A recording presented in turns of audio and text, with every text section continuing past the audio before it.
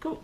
365 day devotional. This is for uh, March 19th. Uh, I guess uh, yesterday I might have been just way too tired. Or I think I did it yesterday. Angels answer him. Yeah, I did it. I'm just a day behind. We'll go 365 day devotional times two because we're going to need that next one too, I bet. A prayer for Jesus is Lord.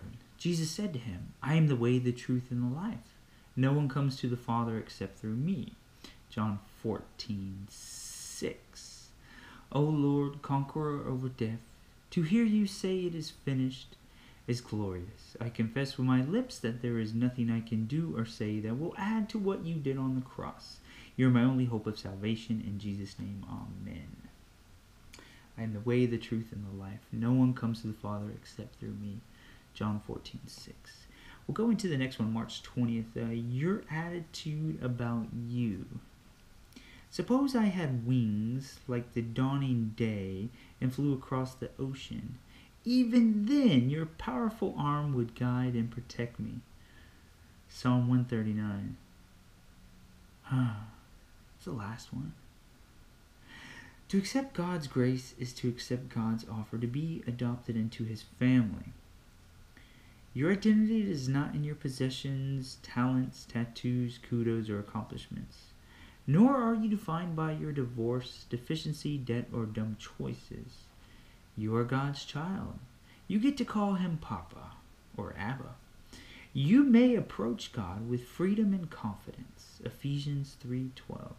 You receive the blessings of his special love. 1 John 4, 9 through 11.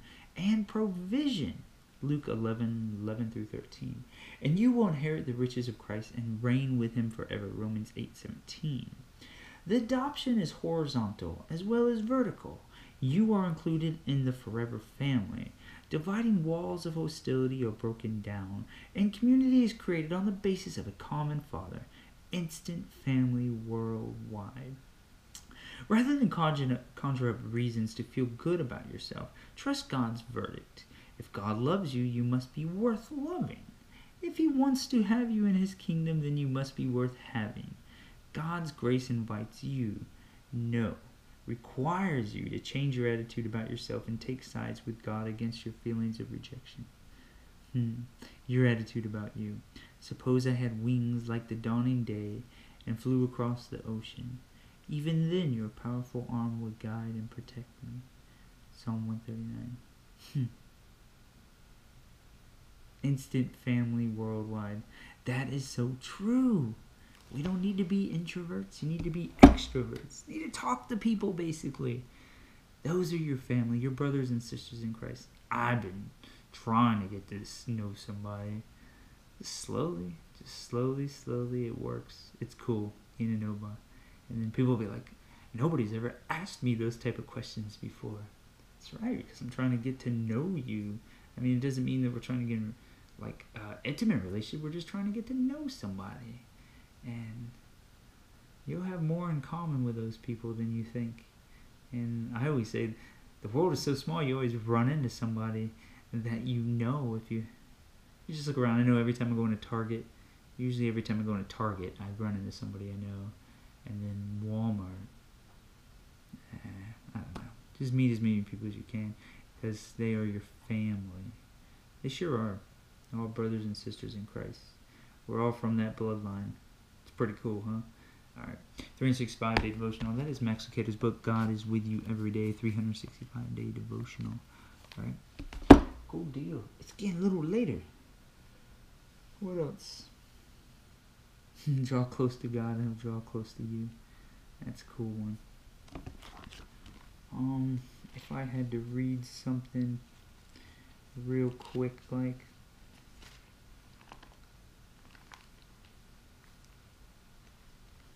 O Lord, you have searched me, and you know me. You know when I sit and when I rise. You perceive my thoughts from afar. You discern my going out and my lying down. You are familiar with all my ways. Before a word is on my tongue, you know it completely, O Lord. You hem me in behind and before. You have laid your hand upon me.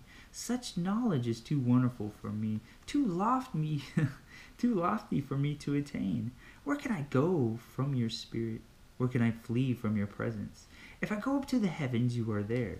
If I make my bed in the depths, you are there. If I rise on the wings of dawn, if I settle on the far side of the sea, even there your hand will guide me.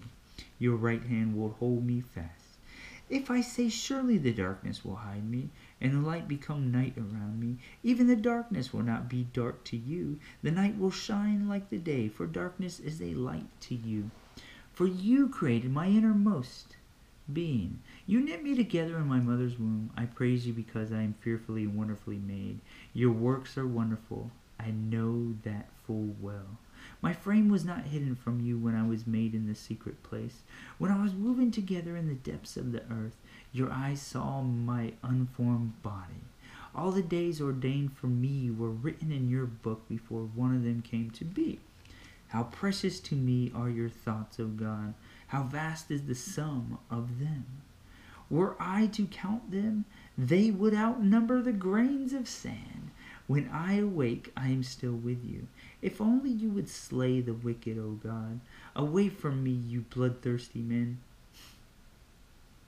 They speak of you with evil intent. Your adversaries misuse your name. Do I not hate those who hate you, O Lord, and abhor, abhor those who rise up against you? I have nothing but hatred for them. I count them my enemies. Search me, O God, and know my heart. Test me and know my anxious thoughts. See if there is any offensive way in me, and lead me in the way everlasting. Dang. Here we go. If only you would slay the wicked, O God.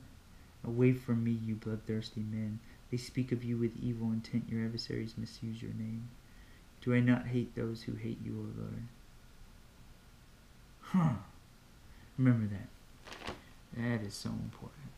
I tell you, I tell you, there's there's a lot of good around us, but there are bad disguised, disguise, but they can be turned. There is hope. He's God.